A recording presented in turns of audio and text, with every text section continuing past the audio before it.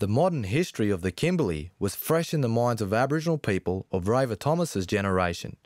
For example, the massacres of Aboriginal people, which commenced in the late 19th century, continued until about 1925, a year before Thomas's birth. The killings were often the result of disputes over land and cattle.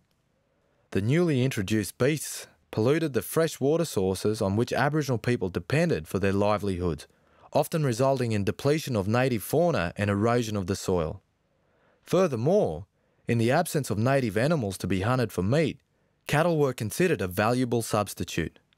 Thus, Aboriginal people found every reason to kill cattle, much to the anger of the cattle farmers. This painting is one of a series of three paintings documenting a massacre at Texas Downs Station. Thomas relates the episode where the owner of the station came across a group of Aboriginal people butchering some of his cattle at a place called Horseshoe Creek. He shot a number of them. The rest ran off to a camp at Mistake Creek, where another massacre occurred in 1915.